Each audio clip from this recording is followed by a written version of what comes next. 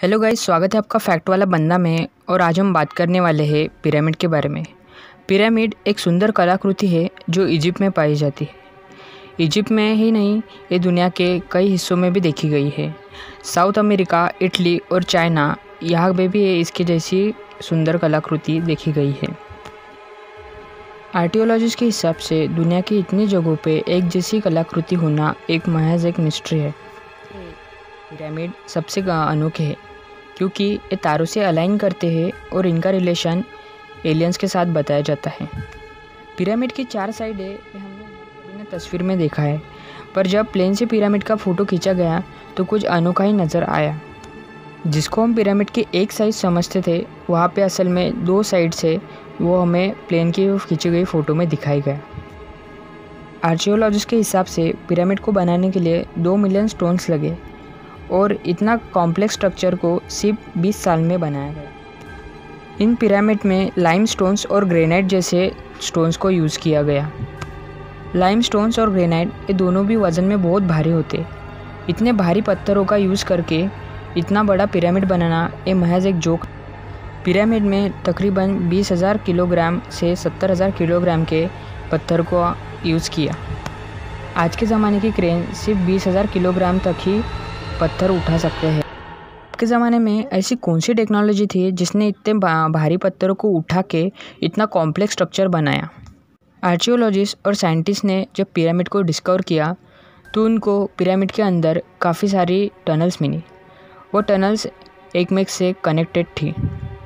आर्चियोलॉजिस्ट के हिसाब से ये टनल्स एरेशन के लिए थी, पर इन टनल्स के अंदर गए, तब ये टनल्स दरवाजे से बंद थी। लोगों के हिसाब से ये टनल इसलिए थी क्योंकि वह राजा की आत्मा सीधी स्वर्ग में जा सके, इसलिए वो टनल्स रखे गए थे। आर्चियोलॉजिस्ट के हिसाब से पिरामिड के अंदर की सिर्फ़ कुछ ही टनल्स को डिस्कवर किया गया है, इसके अंदर और भी टनल्स है। पिरामिड के अंदर कई टॉम को डिस्कवर किया गया है, पर उस टॉम से एक भी मम्मी नहीं निकली है। यानी कि पिरामिड कोई मकबरा नहीं थे। पिरामिड का पर्पस कुछ और ही था। तो तब के ज़माने में ऐसी क्या चीज़ थी जिसने इतना सटीक और इतना अच्छा पिरामिड बनाया? गीज़ा के पिरामिड में स्पिनिक्स नाम का एक स्ट्रक्चर आपको याद ही होगा। स्पिनिक्स स्टैचू सिर्फ़ एक ही लाइमस्टोन से बनाया गया है। एक ही लाइमस्टोन से इतना बड़ा स्ट्रक्चर बनाना एक बहुत बड़ी बात है। इस स्ट्रक्चर की जब अच्छे से जाँच की गई तो इसके नीचे से भी एक टनल है। इजिप्ट जैसे जगहों पे, जहाँ पे इतनी गर्मी रहती है, वहाँ पे पिरामिड के अंदर का टेम्परेचर सिर्फ़ 20 डिग्री है।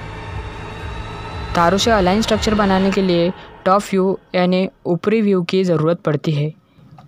और ये सिर्फ़ तभी संभव होता जब हेलीकॉप्टर या स्पेसशिप जैसे कोई चीज़ रहती। पिरामिड को जब अच्छे से डिस्कवर किया गया तो पिरामिड के अंदर कुछ ऐसी पेंटिंग्स मिली, जहाँ पे एलियन जैसी प्रतिकृति मिली। तो क्या तब एलियंस थे?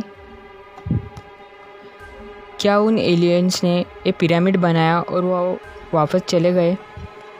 इन प्रश्नों का उत्तर तो अभी तक साइंटिस्ट ने भी नहीं दिया है। तो गाइस वीडियो को लाइक करो शेयर करो, इस पर कमेंट ज़रूर करो, मैं सबकी कमेंट पढ़ता हूँ। और चैनल को सब्सक्राइब करो। और बेल आइकन को दबाओ ताकि मेरे नई वीडियोस का नोटिफिकेशन आपको मिले।